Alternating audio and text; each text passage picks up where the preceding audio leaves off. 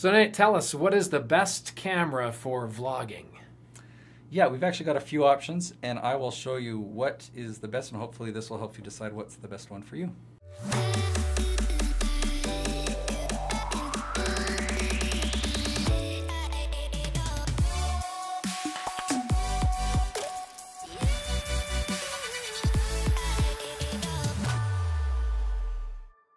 All right. Hey, it's Scott Christopher once again here with Nate. Uh, Be the hero, Nate. Wow, no shirt. I mean, you're wearing a shirt. I'm wearing a shirt. You're not wearing the shirt. I've uh, talked with uh, People- wardrobe people who consultant, care. wardrobe consultant, and uh, Your wife? give some. I've actually hired one. Hired an image consultant because Nice. I'm, anyway. That's good. Well, Um, things are things are So rolling. this is just a simple You're just going. T-shirt here. Don't have be the hero on me. Now, today we're uh, talking about uh, equipment, hardware. And uh, before we even get into the question, we should tell you that we're shooting on, right now, on a Canon 80D. And was this the first camera that you purchased? So this is the first one. This This, one. is the this is the 70D. Okay. And then the upgraded version is the one that we're filming on right there. right. And, and, the of, one of the two, you prefer that one, or are they just for different things? they're the, they're identical cameras. This one's just a little bit newer, and so the feature of autofocus is slightly better. This one still works fantastic, but that one can film at 60 frames per second. That's really the only main feature difference. Hmm. I almost got a second one of these because I liked it so much, but I thought, oh, the 80D is only a couple hundred dollars more because I needed a second camera, so I just got the upgrade. I'm glad you said something about the autofocus because I have a 60D. Mhm. And I have trouble with the autofocus. Yeah, this the 70D is the first camera that came out that had an autofocus feature, which uh, for video is pretty important because Right. if you're if you're moving around, the distance is changing, especially if you've got a high quality lens where it blurs the background. You, it's got to stay in focus on your face, and so I mean, watch this. If I get close and it stays focused on my face, see how Scott's and I'm blurred. Hi, it's very arty. So it, it Yeah. does that that automatically. artsy fartsy. So we're talking about vlogging, Right, right? okay. And this was this was the typical camera that Casey Neistat used for a long time. On the camera that you're not seeing, there's a, a shotgun mic on top, so it's attached here. It's a mic that points forward, and then Casey would have his Gorilla Pod that he could hold it and, and vlog. Now, if I turn this on, this having a flip screen like this where you can actually Yes. see yourself, that's that's a big deal. Critical. So to vlog and to, to really because you're taking a lot of selfie shots, but you know you gotta the the 70D, the 80D, great great cameras because it's got the autofocus and it's got a flip screen. I really want to talk a lot about about features, and I've got another camera here that I'm going to introduce. This is my new vlogging camera, and I'll explain why. I But can, um, I can see for one thing, it's yeah, much smaller. Definitely. But but that's uh, instead of saying, hey, you need to get this specific camera because maybe you want to go with Nikon or maybe Right. you want to go with Sony or, or some some other brand. The features that you want, you definitely want a flip screen. You've got to be able to see yourself, and you definitely want a good autofocus.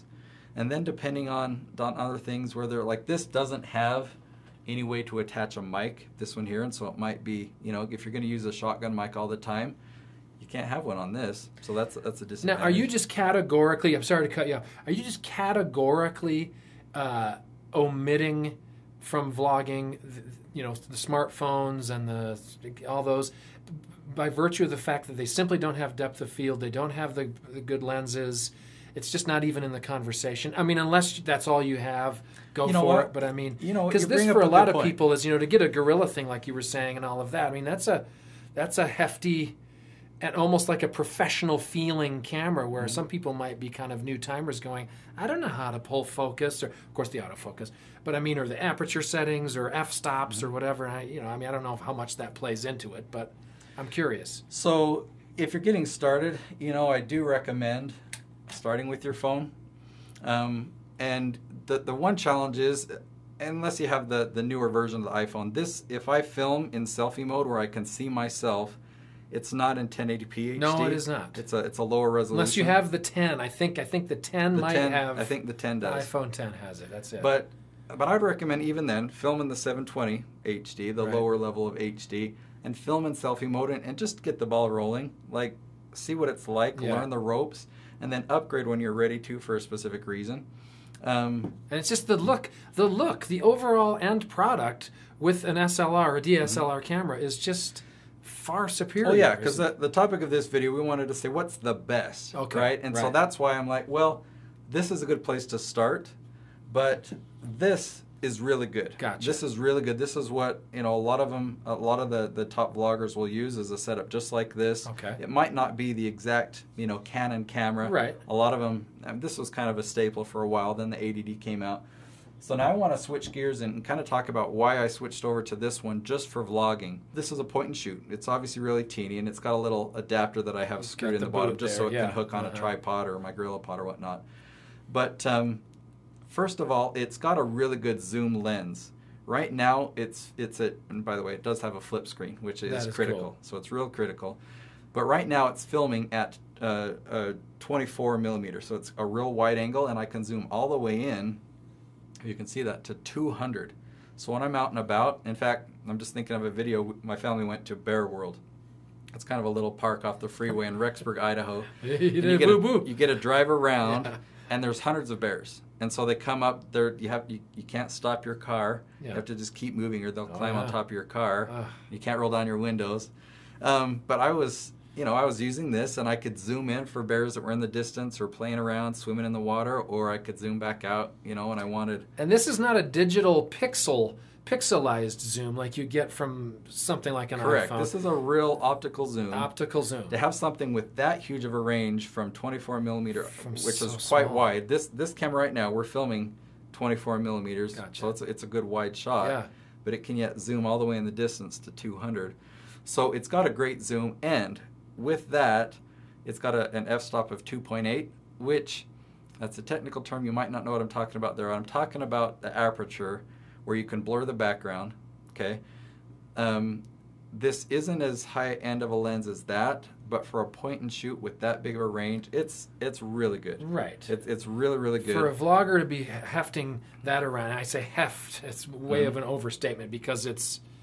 I mean, I know you have this little foot on it here, but I mean, it's it's Well, it's, I- it's not terribly light, but compared I to hook the, this to my Gorilla Pod, and my Oh, arm my arm doesn't get tired. You know, I'm just it's it's out there in front of me, and I can I can vlog and turn it around. And I don't know why we film so much in our car. I guess I'm thinking of my wife and I when we're driving somewhere. It's like they're like we're at Arches National Park, and it's like we want to get scenery on the way to Yes. that place that we're going to. Yeah.